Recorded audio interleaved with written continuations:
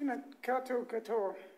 Ko Ben Moore te maanga, ko Turakaya, te awa, ko Sean toko ingoa, no ahau, kei niwa whakatū ahau i mahi anana, tēnā tātou katoa. Kia ora. To carry out this review, I library searches, uh, also searched through historic newspapers using papers past, and also resorted to Google sometimes. And with the help of Steve Urlich, I've also been able to speak to some of the local long-term residents in Kaumatua, and also some people that responded to the Tell Your Story page that was put up on the the uh, council website. And of a number of questions that were asked of me for the brief of this project, one of the main questions that was asked was, has there been a shifting baseline occurred over time? And by a shifting baseline, we mean, has human record and memories not kept pace with the actual changes that have occurred to the seabed habitats of Totaranui? And another key brief that I want to address today is what are the risks associated with a business as usual approach to management of Queen Charlotte Sound. So, compared with other continents, New Zealand was colonised late in human history, but there was there's definitely evidence that Maori were were here way way before the Europeans, and in the the literatures some of the stories that came that I found, um, some that stuck out stuck out in my mind were some of the mysteries around the supposed pit, pit people, what they were called, or Ngāti Moi Moi. Some people referred to them as, which may be descendant of Waitaha, uh, which is also what I've been told by some people. But on, on the right hand side, the, this is a watercolour by Sir William Fox 1848 of Waitohi, which is now Picton Harbour. See here the little spit where the footbridge now lies. So this is where the marina is now, and Waikawa Marina would be up top, top right-hand corner. And we can see from this image there, there's not a lot of trees left.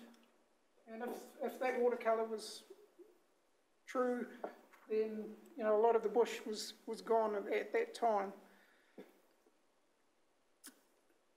Fire was an important tool for both Maori and early European colonisers. Uh, in the neighbouring Waimea Plains, Maori modified over a thousand acres of soil with the addition of large quantities of charcoal and gravel, and that was used to improve the drainage and also heat retention in the soils for growing good kumara. And it was interesting, there's a report that actually compared the, the soil types in those Waimea soils to the, the US potato, uh, sweet potato manual back in the early 1900s, and the soil types were pretty much similar. So, you know, the Maoris had worked out how to, how to grow a good sweet potato. And it's my hypothesis that the, the early Maori would have also probably carried out similar activities in, in Queen Charlotte Sound. So they, were, they would have had some uh, horticulture and modified some of the soils, and in doing so, some soil and also nutrients would have entered the sea. So they may have created a bit of productivity in the water at the time. But Europeans greatly accelerated the removal of the bush from the steep slopes of Queen Charlotte Sound by milling timber, especially up in the Grove Arm was an important place for timber production in the early days, and for developing land, the land for farming. And this is a couple of images here Te Bay on the southern side of Arapawa Island uh, on Tory Channel. And uh, was a lady who, who I worked with, uh, was actually her grandfather's farm Ridge Jackson, and you can see the the sheep and the, in the yards right down on the beach, and all the wool bales lined up on the, on the wharf, ready to be shipped off for sale. There was also uh, a little bit of mining in the area. There's the antimony mine out in Resolution Bay, and you can see in this image there's a bit of forestry clearance associated with some of the habitation in that area during that time. And also in 18, this is 1897 image from looking back from the snout towards Picton, and you can see a lot of deforestation on the hills there, which sort of supports the earlier image. Excuse, excuse me, Sean, just, Yes. just, that picture over there looks more like Endeavour, not, not Resolution Bay. The antimony mines on the top of, uh, Puhikiriri. Ah, right, my mistake, sorry. They were in Endeavour, I think. And the removal of the protective bush and the use of fire led to erosion, releasing large quantities of sediment and nutrients into the sea. As much of the land in Queen Charlotte Sound is too steep to farm, uh, Pinus radiata forestry was developed in the 1960s, and a lot of the other unproductive farmland has been left to regenerate. But unfortunately, as Steve Urlich has reported in his earlier reports, that on slopes exceeding 30 to 40 degrees, erosion frequently occurs, shedding large volumes of sediment into streams which flow into the sea.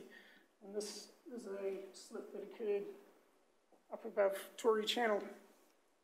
These, the, the, there's a vulnerability window the first five to eight years after replanting where the root zones of the trees haven't developed enough to hold the soils together, so you, you get a, a, that time period where erosion can occur. And, yeah, these trees are quite- quite young here. Once in the sea, fine sediment is dispersed by waves and tidal currents. The image on the left is actually, I've put two images together. One is the,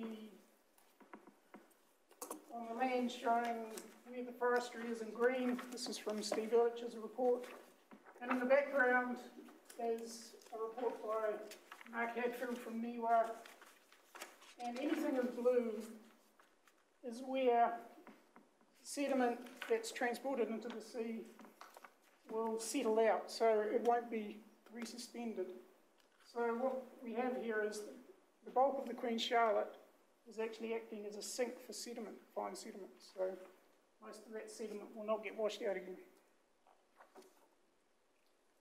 But unfortunately, as Emma alluded to, fine sediments can act as a, a toxin in the marine environment, and as little as 26 milligrams of fine sediment mixed into a litre of water and, and fed to the likes of oysters, mussels, and sponges can affect their health after a two week period, as a report by Schwartz et al. in 2006 found. And that 26 milligrams is actually, there's 260 milligrams of sediment in that teaspoon. It's, it's a very small amount, just the amount in that red ring. And, but the the filter feeders like mussels are very effective at removing some of the sediment from the water column, but it, it has a cost to their health. I was also very fortunate to talk to a long-term resident of Cape Jackson, David Baker, who's a fisherman out there. And he's documented over time for a recent review done for the uh, Aotearoa Fisheries Limited that was instigated by them, looking, uh, looking at the loss of Macrocystis kelp in Queen Charlotte Sound. And he reported that in the inner Queen Charlotte there was a 100% loss, and estimates 90% loss in the yellow area here out in the outer Queen Charlotte, as compared with about 40% loss in Queen Charlotte Sound. So if we compare where the sediment gets transported quickly through and out of Tory Channel, you still get some macrocystis beds surviving, but where it's accumulating, we're getting loss of kelp.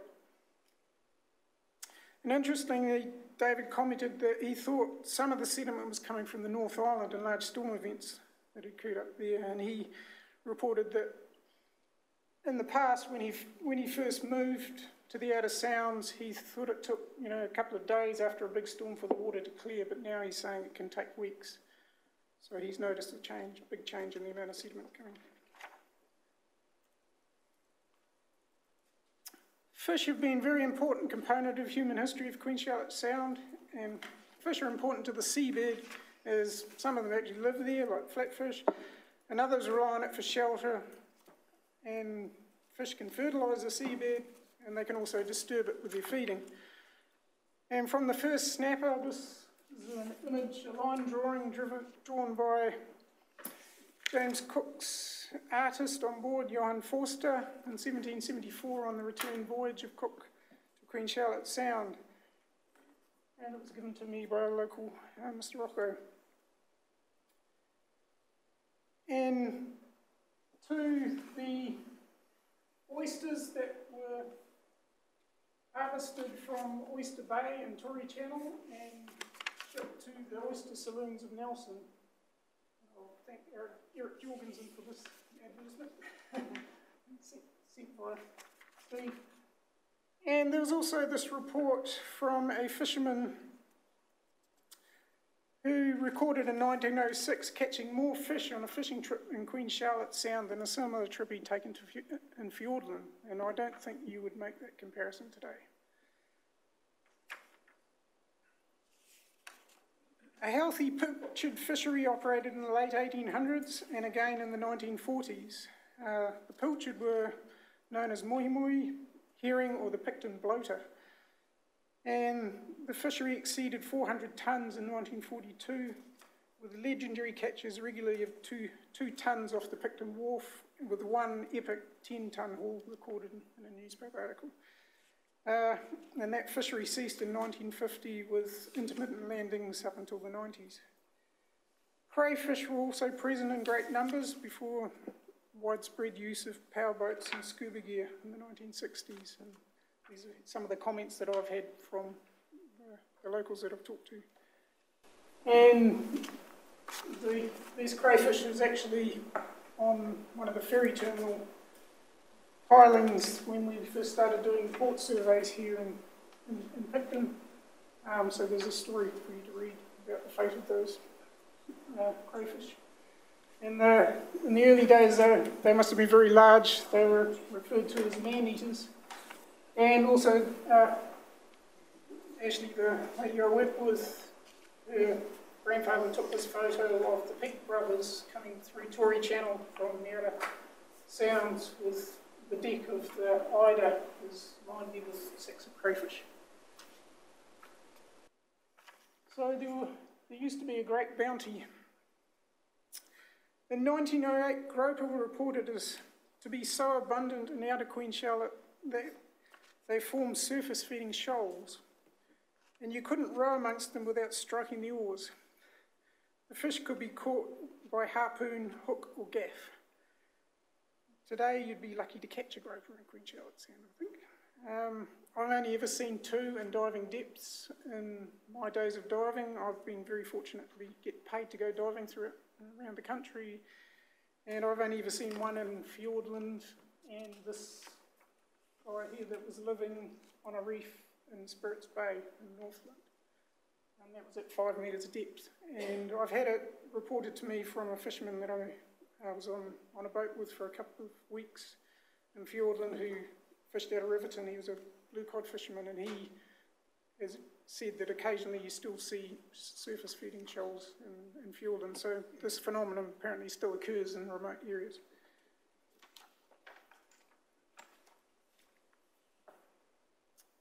With the abundance of fish, fishing was encouraged by the government of the day the first steam trawler, the Waitara here, started fishing the outer sounds in 1908, whereas before that most fish were caught by handline or by set net. And Tom reported to me, Tom Norton, who's here today, recalls fishing with his father as a boy and catching 15 to 20 dozen large cod a day in Tory Channel with handline. And he said that they they fished for about three years using those methods. However, by 1925, inshore fishermen started to complain of reduced numbers of blue cod in Pelorus and Queen Charlotte Sound. And interestingly, in a 1956 study found, found that pilchards and sprats were the dominant food found in the guts of blue cod in the Marlborough Sounds in those early days. So there was definitely a food chain link between the, the Picton bloater and the old cod populations. In 1939, there was a visit by Sir Harry Twyford, who was the former mayor of London, and I looked it up. He, he was the mayor of London in 1937, and it appears he had been to New Zealand 35 years previously. And he reported on his return trip a great deterioration of sea fishing at Cable Bay in Nelson and in Queen Charlotte Sound. He had said he'd been told by fishermen that they blamed trawlers for destroying breeding grounds, and he thought the government would be wise if it made it illegal to, to fishing within a stated limit of the shore and that they should not be allowed at all in the sounds. He also regretted the loss of bush on the country and does not look good for grazing or anything else. And that was 1939. Trawling and dredging that disturbs the seabed can remove complex habitats. And metal dredges, trawl doors, ground ropes, and the bobbins on the ropes can leave traces on soft sediment. And so this is a diagram of a typical trawl setup. Here's the trawl doors at the front of the net, keeping the net open, and you have the, ground rope and orange there. And sometimes they have bobbins scrape along the bottom to keep the ground line off the bottom. And this is a mark in the, the sediment that we videoed one day out in Tasman Bay where quite often they use, um, keep the nets on the bottom to catch flatfish. And this is a typical ringbait dredge showing the cutter bar at the front uh, that's used in uh, the top of the south here for scallop and oyster dredging. The first thing to be affected by fishing gear that contacts the seabed are the organisms that are protruding above the sediment and forming complex structures. And I don't know if you recognise it, but it's, it's a horse mussel that's colonised by, these are colonial ascidians, there's a solitary ascidian here, there's some yellow sponges, these little branches here are rhizomes, a number of different algae, there's also a large kelp attached to it. So a single horse mussel can create a little island, a little, and they've been called oasis communities because they, they create their own little habitat in themselves. And when you get horse mussel beds, you get a whole complex structure. We call these structures biogenic habitats. You know, tube worms uh, that for, form from calcium, produce calcium tubes, or calcareous worms can form similar habitats. And the likes of blue cod fish like to associate with that sort of structure and also the likes of crayfish as well. This is a crayfish that's hiding under a log over a soft sediment. And of course, there's the crayfish that used to live on the ferry terminal. But also, dredging and trawling can modify the actual structure of the sediment. And to illustrate this, I probably remember this from my last talk, I put layered shell, sand and mud in a, in a jar, and then filled it with water and shook it up and let it settle out. And what you get is the, the heavy, large material, the shell settles out first, then you get the sands, then you get all the fine material on top. And it's my hypothesis that the repeated disturbance over time has changed the structure of the sediments. And I've published a paper looking at the sediment structure and inside and outside separation point in Tasman Bay describing this effect. So, has a shifting baseline occurred? And what, what if we were to remove fishing? What would happen? Well, luckily for us, we can see what happens when fishing is excluded from an area because the Long Island Kokomohua Marine Reserve has been given protection in 1992, and after 22 years of survey, surveys by Rob Davidson from DOC show some dramatic results. Rock lobster uh, are 11.5 times more abundant inside the marine reserve, and they're a lot larger in size. Blue cod are three times more abundant inside the reserve and a lot larger in size as well. And blue moki and paua are 1.4 times larger inside the reserve compared with outside. But interestingly, kina, especially the smaller ones, are less abundant inside the marine reserve. And what Rob thinks is going on here is that those, the predators, the crayfish, the blue cod and the like, are eating the little baby So they're holding back the grazing community, allowing those kelp to come away again. So, you know, the, the system's getting back in balance. But what about the other species that haven't returned? And there's the pilchards, the snapper and the groper, and the scallops and the horse mussels, for example, and the biogenic habitat and the little fish and things that likes to like to hide in amongst those communities. You know, will these species ever return, or do, we, do they need a bit of a help? So, relating to the second question asked of me, what are the risks associated with business as usual approach? Well, there's something that might come back to bite Queen Charlotte Sound. In the future, the sounds will be affected by climate change. The predictions are that there will be increased frequency of storms and that the storms that do occur will be larger and more intense. So this is going to increase acceleration of erosion and cause greater volumes of sediment to be washed into the sounds. To protect what habitats that remain in the, and the fisheries resources that they support, resiliences need to be built back into the system. As Queen Charlotte Sound is a sink for fine sediment and it's been heavily disturbed and the fisheries depleted, what remains needs to be protected. And to build resilience, I'm going to suggest going a step further and taking steps to mitigate the sedimentation and possibly to restore missing habitats and species. Thank you.